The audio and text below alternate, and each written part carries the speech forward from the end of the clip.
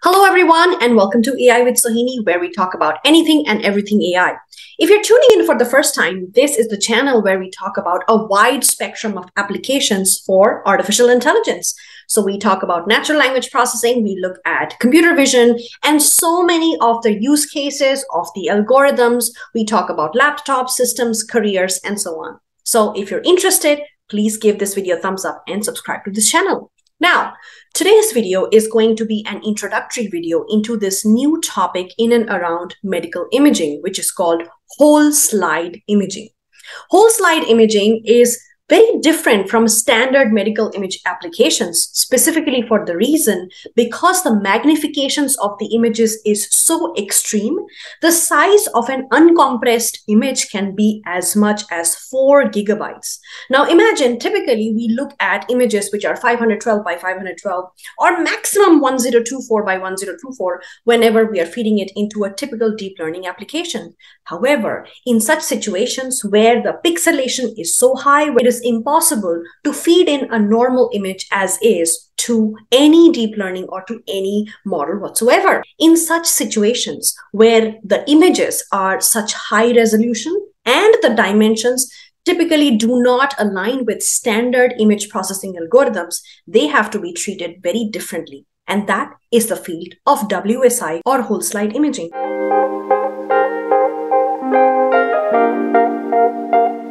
Now let's start by understanding what is whole slide imaging. Now, whole slide imaging is also known as virtual microscopy, and it is typically an extremely high res, complete microscopic slide, and it has a very high definition, you know, imagery or components within it. So if you have any biological tissue, so typically it is used for, for mapping the cellular level information in biological tissue, and that can be for histopathology images, such as the examples given in this particular Kaggle page. Now, um, the, the data sets, again, they can vary. The, the sizes can vary a lot. Let's talk about some of the challenges posed by WSI images. First off, standard libraries will not work that are used to read and write such WSI files just because they are so heavy and bulky in nature. Their extensions typically are .dcm or .dicom, and they can also be JPX, JP2, and they can also be very specific TIFF files as well. So typically such histopathology images or mitochondrial images in these cases may have several instances of nucleic regions in them but that need to be separated and isolated. So the typical mechanism that is used in such WSI images is first off patching the image. So taking a whole WSI image and generating sub patches of maybe 32 by 32 or at max 64 by 64 out of them. And these patches can be extracted as a tiled sequence or they can also be overlapping tiled sequences. Once such a huge image has been chunked into these patches, these smaller patches are then fed into traditional deep learning algorithms such as Mask RCNN, or you can also pass them through a standard U-Net in order to do patch-wise segmentation of these different regions of interest. Now, one major difference between a WSI image and standard medical images of decent, of similar, you know, shapes and sizes as any other image is the fact that the evaluation protocol is distinctly dissimilar. And that is the reason why WSI images have to go through their own evaluation protocols. So evaluation in this case could be semantic segmentation followed by detection of the IOU, the Jaccard or the dice coefficient, precision recall, and so on and so forth. Mask RCNN or counting the number of nucleic regions per patches is not a good idea in such situations, just for the reason as your counting will go off whenever you are trying to merge all the patches back to generate the whole slide image before evaluation. Now that we understand the challenges corresponding to a WSI, let's get into how annotation and modeling for WSI images would look like using V7.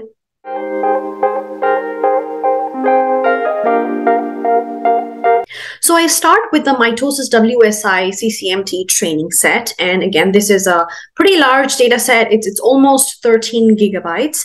And once this is unpacked, it looks like this. So these are all of the different files. And notice here, a particular file can actually go up to two gigabytes in size. So now as a first step, what I do is I go into my V7 platform and I upload the images. And again, although you will see that a standard uh, TensorFlow-IO library will fail, it actually gets opened up in the V7 platform, which is amazing. So when we open up this DICOM file, this is how it opens up. And for every single frame, you can actually modify the brightness, the color, the contrast, so that the regions of interest are, you know, extracted as well as you like.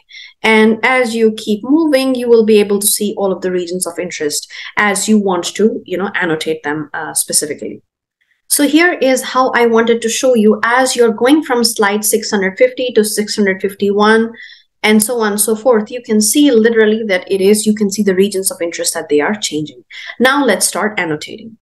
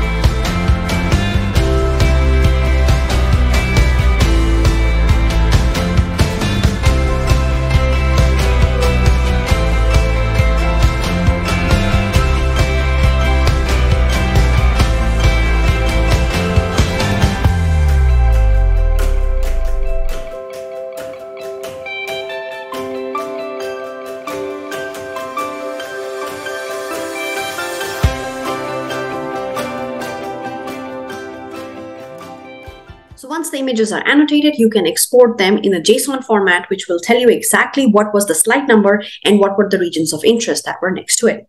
So this way you can use V7 to migrate yourself in such tricky situations, which is a DICOM images, specifically WSI images that are extremely bulky in order to read them, annotate them, and in order to model deep learning algorithms on them. I hope you found this useful and stay tuned for the next video.